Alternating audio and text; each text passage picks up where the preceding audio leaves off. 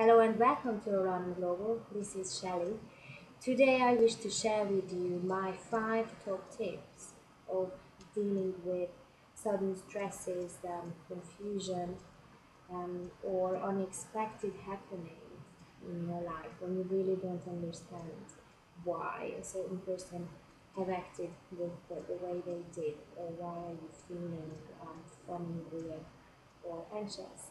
Many times um, I am um, actually busy, so thank you so much for waiting um, to come through for a private consultation on oranum.com. In the meantime, I would like to encourage you to uh, use these five steps whilst waiting for your consultation. I call these Shellie's top five tips or five, four, three, two, one. Number one, relax and remember to breathe. Your situation is likely to be 30 to 40% better to what you actually perceive it to be right now in the haze of the sudden happenings and the shock that you may have come through. Number two, see yourself from a distance. Have situation awareness. What have I done to contribute to this situation, or is there anything that I have done to bring these things on me, to attract these things? Look deep within.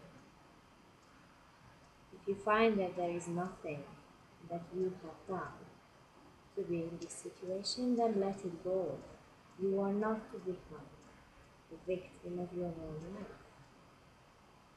Number three, if your issues include and involve anyone or more than one people, try this.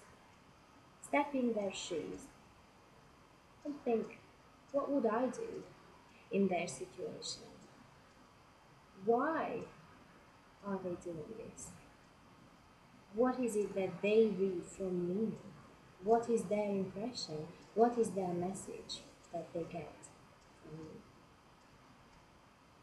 If you take a few moments to do this, it will give you the kind of um, clarity, possibly um, even give you the solution um, that will lead you to, to again be calmer and see the situation for what it is as opposed to um, coming close to giving up and seeing yourself as somebody who up in this and uh, can't find their way out of the situation. Number four, I'd like you to focus on your heart chakra, on your heart, and start opening it. And start seeing people through your heart.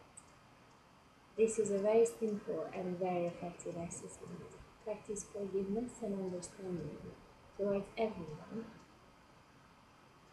There really is no point in holding a grudge, and there is no point in punishing yourself with hard feelings such as anxiety, anger, jealousy, or sadness in itself. Number five, turn your anxiety into positive anticipation. When you think about it, anxiety and positive anticipation translate to exactly the same thing you are wanting something, you are longing for something to happen or for someone to come into or come back into your life. Whereas anxiety makes you feel horrible, but also cringing feeling in your stomach, in your chest. Positive anticipation, whilst focusing on exactly the same thing, gives you an inner smile and the freedom to express and your thought and your vision into where and who you, you may want to see yourself in the future. I do hope that you will find my five tips useful in just bringing yourself to that level of resonance where you will be able to see a little bit more clearly, breathe regularly, and indeed receive your private consultation. Practice these five steps whilst you're waiting to through for my reading or when I am not available and um, see the effect that they will have. Join me on the Oranum community site within Oranum.com. I also have a club called Shellie's Secret Sofa Club where you can share your amazing story and I contribute myself with uh, many, many comments on a daily or almost daily basis. So do enjoy your time on Oranum and I look forward to talk to you very, very soon.